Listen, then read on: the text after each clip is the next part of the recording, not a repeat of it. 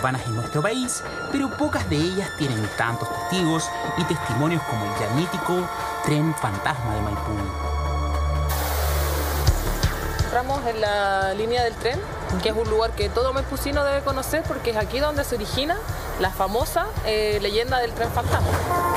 Se supone que a cierta hora, por ejemplo, después de medianoche, escuchas el ruido como que si estuviera cerca de tu casa y todo el mundo lo escucha. Y obviamente es un tren que nunca ha pasado. Los vecinos de Maipú están acostumbrados a escucharlo, quizás porque crecieron en medio de la incertidumbre de saber qué es y por qué a pesar de que hace décadas no pasa un vagón por aquí, siguen escuchando tan claramente el sonido de su marcha. El tren fantasma de Maipú y su silbido de locomotora podría tener su génesis en un mortal accidente.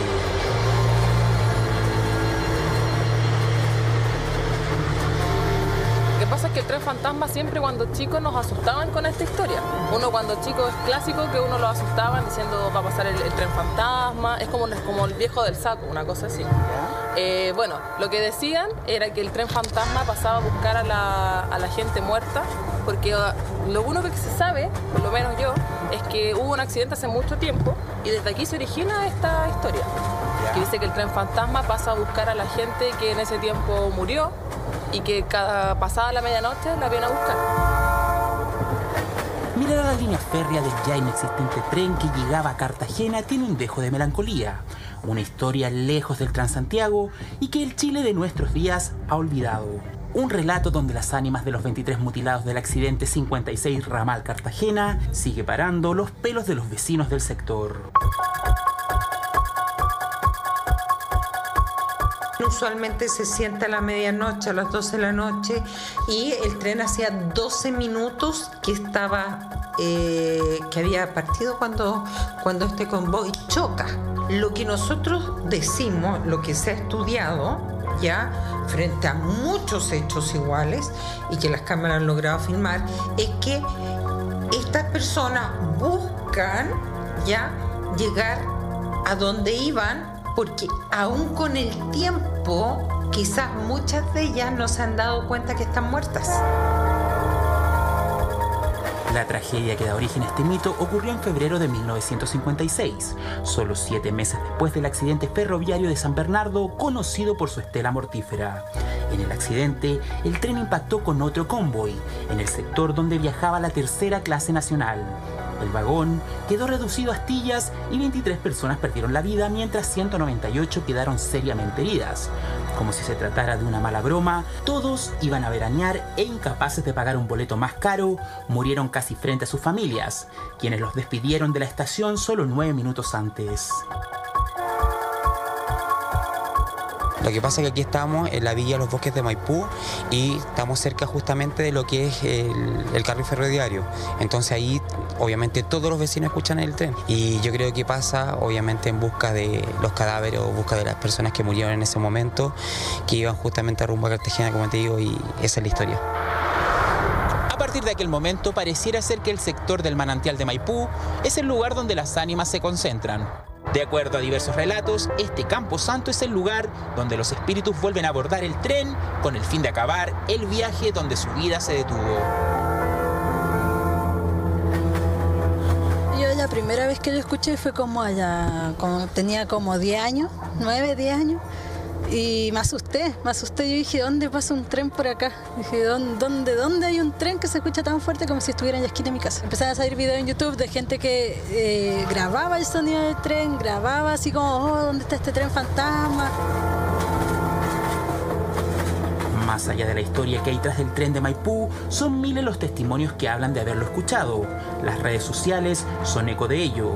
De hecho, una página de Facebook avisa y alerta del paso del tren, quien a pesar del revuelo mediático, no cesa en su macabro maquinar.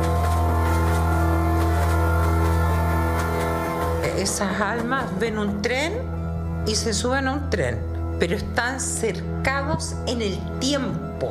Y si habría una el espacio-tiempo. Por alguna razón, ellos se quedan enclaustrados en el tiempo. Bien en comunas como Pudahuel, Loprado, Cerrillos, Quinta Normal, Estación Central e incluso Santiago Centro, hay quienes aseguran que escuchan el inconfundible silbato de la locomotora que corre sobre los rieles, el relato del tren de Maipú es tan propio como la identidad de la comuna, tan real como el ruido de su maquinaria, un silbato tan agudo que casi siempre pareciera que en su paso avisa que nadie está libre de un accidente.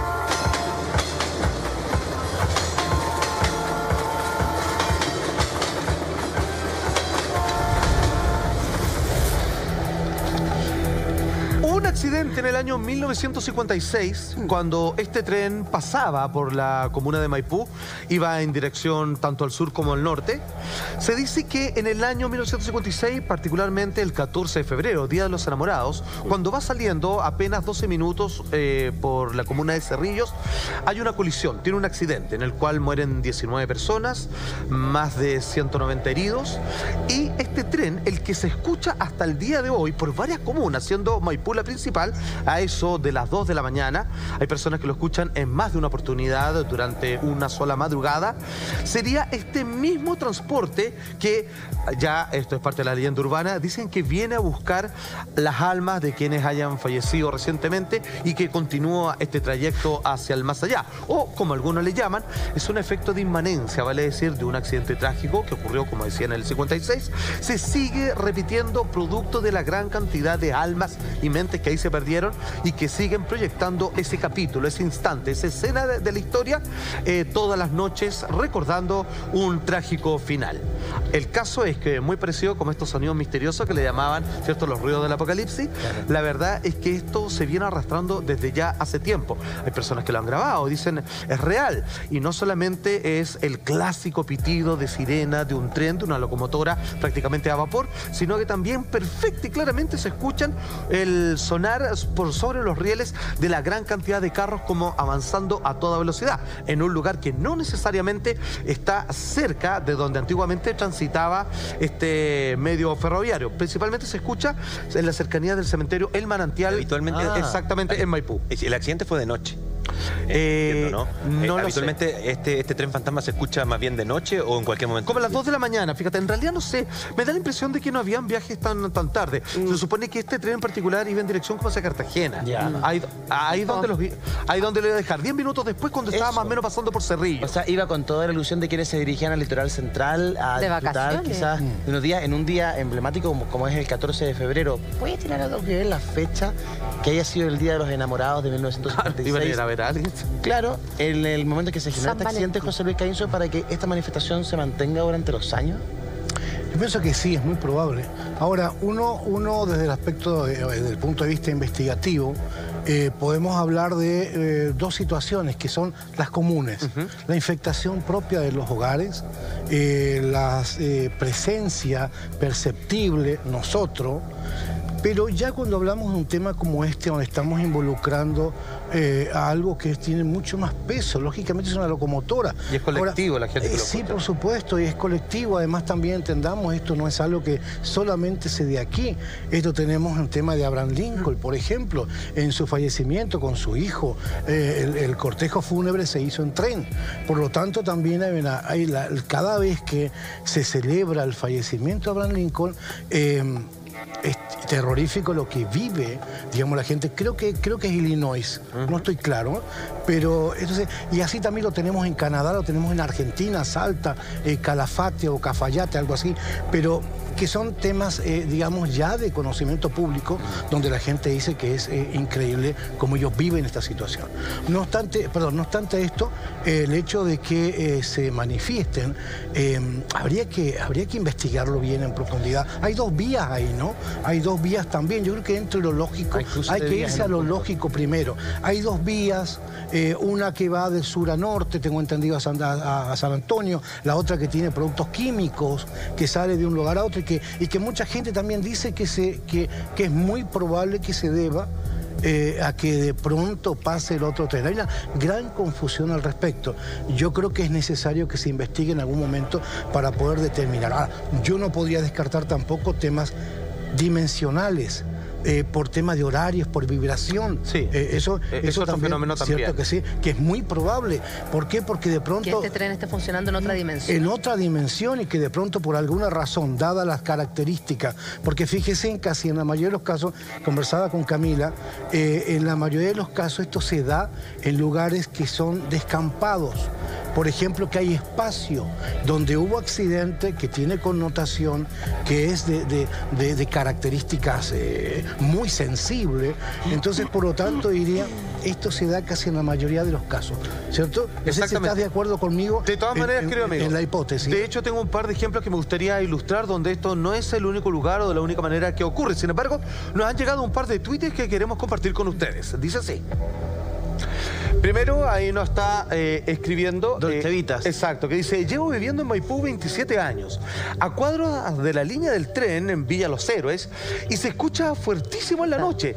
Te despierta de lo fuerte que suena. Dice que no se ha podido asociar a nada. No son camiones, ni mucho menos. Tenemos Marco. otro Twitter, esta vez Majo nos escribe. Yo escucho un tren, no sabía por dónde diablos pasaba. Bueno, ahora le estamos explicando, es un fantasma. ni más ni menos. Es un tren espectral. Cabe la teoría de que cuando hay muchas personas que fallecen en un accidente, eh, no se den cuenta de que ya pasaron a otro plano y se siga repitiendo una y otra vez. Es lo que ha pasado en distintas ocasiones, exactamente. Es como que un colectivo de fuerza energética de personas que de inmediatamente están leyendo un diario ¡pam! y de repente mueren, quedan en un estado de transición donde no logran eh, de alguna manera percibir qué ocurrió con ellas. Y están como una especie de misterio, como la película Los Otros, por ejemplo, en donde ellos piensan que siguen viviendo en su casa, que aquí no ha pasado nada. Los otros son los muertos. Y los muertos, digamos, son ellos, en, en- en estricto rigor. Entonces, eh, puede ser que esto suceda, sobre todo cuando es una gran cantidad de personas. Son prácticamente 20 personas las fallecidas, 198 los heridos. Dos ejemplos. Eh, fíjense que en la noche de San Juan, cuando las personas hacen ritos, ¿se acuerdan? Eso de las 23 al papas 24 de peladas. o- exactamente, cuando ponen un espejo con velo y todos los demás. Hay algunos que son un poquito más osadas, que te obligan, así como tocar una guitarra bajo liguera y todo lo demás, de acostarse en ciertos lugares donde antiguamente pasaban carrozas, ¿cierto? Los antiguos transportes de, que eh, manejaban a las personas en la ciudad.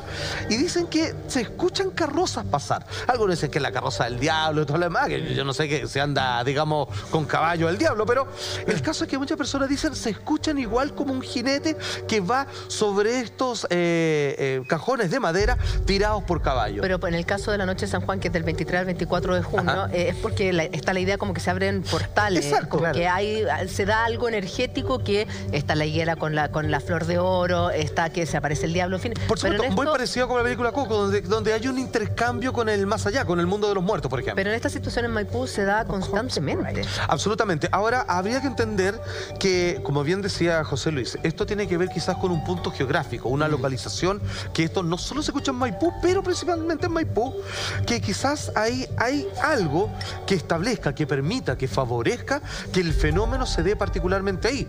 O necesariamente el hecho, como ocurrió en las cercanías de la comuna, no necesita más excusa que simplemente eso para que durante las madrugadas, como escuchamos un par de Twitter, las personas lo escuchen. Ahora, quiero que me entiendan, hay hartas grabaciones de esto. Y realmente uno dice, ¿qué es esto un camión? ¿Sabéis que de verdad no es un camión, no es un barco? ¿Qué barco? Si no hay más nada. Se escucha igual como de película, como una locomotora Con los vagones. Claro, taca, taca, con el taca, taca. vapor. Pero eso es todas las noches. Exactamente. Eh, algunas personas, qué buena pregunta, dicen que lo escuchan todas las noches y otros de vez en cuando. Curioso, porque Y otros ya se acostumbraron, definitivamente. Exacto. Pero el caso es que es tan fuerte que parece que se ha logrado confirmar que a veces lo escucho yo y no tú, que vives al lado. Claro. O sea, y hay personas que se despiertan por el tremendo ruido ensordecedor que esto mete, que es un tren pasando al lado de tu casa, ni más ni Pero es por la. ¿Pero de qué depende eso? ¿De qué depende No que- lo sé. Por ejemplo, yo vivo con Germán en la misma casa. Germán lo escucha y yo no. Por eso. La sensibilidad, yo creo que tiene mucha razón lo que decía, eh, es la sensibilidad. Eh, volvemos al punto de, la, de lo emocional, de lo espiritual, etcétera. Hay quienes pueden, obviamente, no solo percibir este tipo de fenómenos, sino otros, otros más, eh, y yo voy a basarme precisamente en la sensibilidad. Ahora, si fuese porque esto fuese tan común, el tema de, la- de las apariciones, esto, los ruidos, podríamos ver que hay una cantidad de, que, que hace alusión al tema de de la ubicación, de la geografía, porque tenemos accidentes que han sido muy fuertes y que claro. han sido en ciudad, que han sido en terminales de trenes como en Buenos Aires, en Once, un tren donde murieron mucha gente. Sin embargo, este tipo de fenómeno se da en vías, me hace acordar la película Volver al Futuro, por ejemplo, eh, vías, lugares eh, con profundidad, eh, donde es que donde hay dos rieles, eh, lo cual vuelvo a decir, creo que podríamos tranquilamente hablar si lo, si lo profundizamos, si lo estudiamos más, a un tema dimensional. eh, por un, un portal, por ejemplo, atraído por una energía específica debido a. Eso es una gran posibilidad y que hay que analizar. entonces podemos decir que es el medio de transporte, es el tren el que genera a partir de estos rieles Justamente. un portal, porque si no podría suceder algo similar, no tengo idea, guardando las proporciones, pero con el Titanic, que en esa zona se escucha todavía las sirenas, Claro. no tengo idea, por el ruido, pero es que ¿sabes es velocidad. Ah, Sí,